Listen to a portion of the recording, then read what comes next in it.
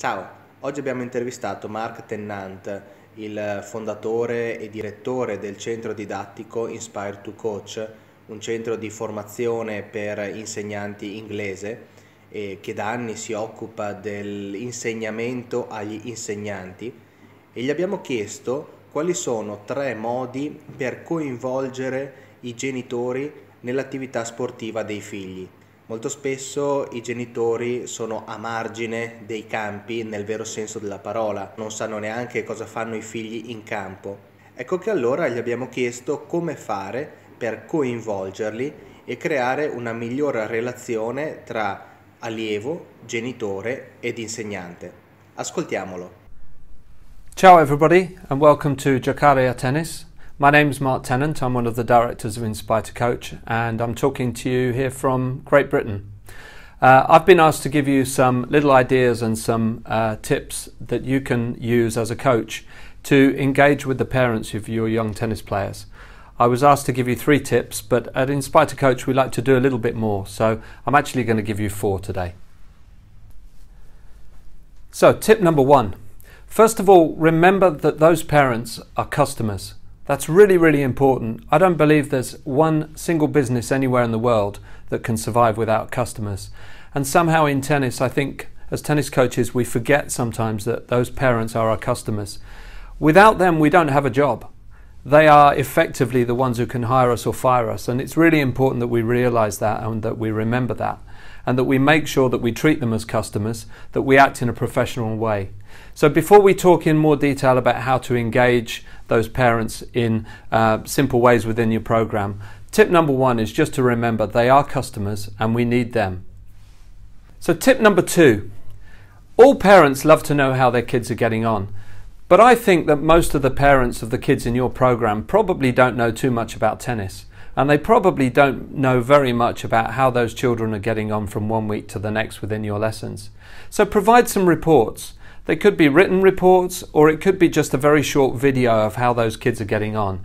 And give that to the parents, maybe just once a year. I don't want to create too much extra work for you because I know you're busy but maybe just once a year or twice a year, parents and grandparents love to have some little reports, like the school reports and like the reports maybe they receive from other sports clubs, just to say that those kids are doing really well. And it shows that you're organised, it shows that you're professional, and it shows that you really care about the kids.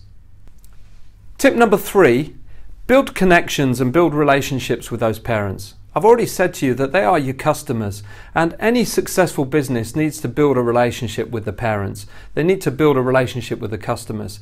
Try to understand a little bit more what the parents are looking for, and hopefully, they'll also understand what you want as the tennis coach. So, try to make yourself available to speak to parents. Don't ban the parents from the side of the tennis court. Allow the parents into the club, welcome them, make them feel welcome, make them feel like they're important. Remember, they are customers to you, and we can't do without those customers because they pay my salary, they pay your salary too. So, welcome them into the club. Don't put barriers in front of them and make yourself available to meet with those parents, maybe one to one occasionally if they want to discuss anything with you about the program or the competition that you're offering for their kids or maybe just once a term or twice a year, arrange a more formal parents' evening. Maybe get, get some of that good Italian wine and some cheese out, and arrange an evening where all the parents can come in. And you can make a little presentation to them and tell them about the philosophy and the ideas in your program. And it's a chance maybe for them to ask questions.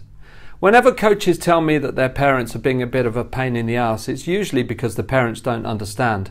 And why don't they understand? because we don't communicate with them. So we need to find ways of communicating as well as we can. So, tip number three arrange to meet parents, meet them one to one, arrange some more formal parents' evenings where you can actually present your information and you can hear questions from your parents, your customers too. So here's your bonus tip. Tip number four. I said I was going to give you some extra, didn't I?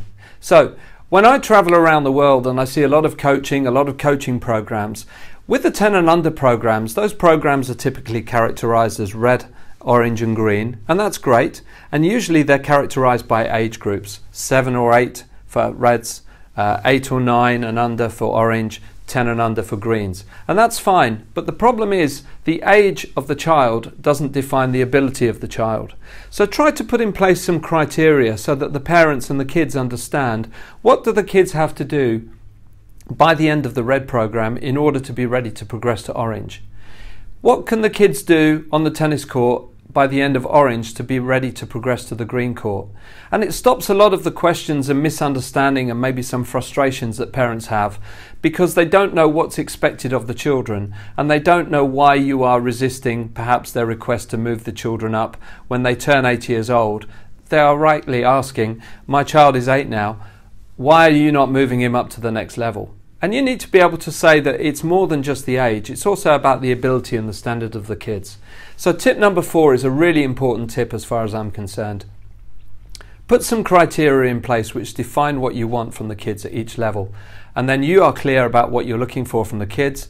The kids know what's expected of them, and those parents also know how their kids are progressing, and they know why their children uh, need to stay in one group a little longer because you've defined the skills that they need to move to the next level.